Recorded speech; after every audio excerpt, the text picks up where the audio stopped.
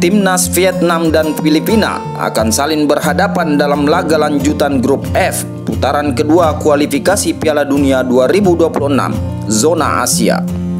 Duel kedua tim dijadwalkan berlangsung di Stadion Maidin, Hanoi pada hari Kamis tanggal 6 bulan 6 2024. Menjelang dimulainya laga tersebut, Sainfit menilai timnya akan menghadapi kesulitan menyusul pergantian pelatih kepala yang dilakukan Vietnam. Seperti diketahui, timnas Vietnam saat ini ditangani oleh Kim Sang-sik, pelatih asal Korea Selatan itu resmi ditunjuk untuk menggantikan posisi Philip Trosser. Sainfit dan anak asuhnya telah tiba di Hanoi, Vietnam pada hari Senin tanggal 3 bulan 4 2024. Sebelumnya mereka berkumpul di Uni Emirat Arab untuk mempersiapkan dua pertandingan terakhir grup F kualifikasi Piala Dunia 2026 berbagi dengan media lokal. Sainfit memuji Vietnam sebagai negara yang indah dengan sejarah yang hebat, termasuk dunia sepak bolanya.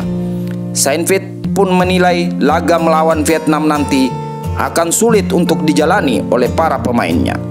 Ini pertandingan yang sangat sulit karena Vietnam adalah lawan yang kuat, ujar Sainfit sebagaimana dikut, dikutip superbowl.id mereka punya penggemar yang bersemangat, tapi kami juga mengharapkan hal itu. Menurut pelatih asal Belgia itu, kesulitan yang dihadapi Filipina juga datang dari staf kepelatihan. Pasalnya, Sainfit hanya bermodalkan video pertandingan timnas Vietnam saat masih ditangani oleh Trosier. Mereka baru saja mengganti pelatihnya, jadi akan lebih sulit bagi kami, kata Sainfit. Karena saya hanya punya video saat Philip Trusser memimpin Vietnam. Saya tidak tahu bagaimana pelatih baru lawan akan mengubah taktik dan personel. Sainfit hanya mengetahui Kim Sang-sik sebagai pelatih yang sangat baik dan telah meraih banyak kesuksesan di Korea. Selain itu, saat masih menjadi pelatih timnas Gambia, Sainfit memiliki pemain Madou Baro yang bergabung ke klub Korea Jeonbuk Hyundai Motor, besutan Kim Sang-sik pada tahun 2020.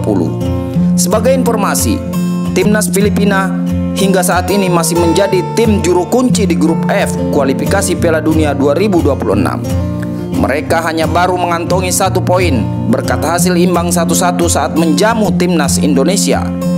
Timnas Vietnam duduk di peringkat 3 klasmen dengan torehan 3 poin. Di posisi kedua ada timnas Indonesia besutan Sintayong yang berhasil mengoleksi 7 poin.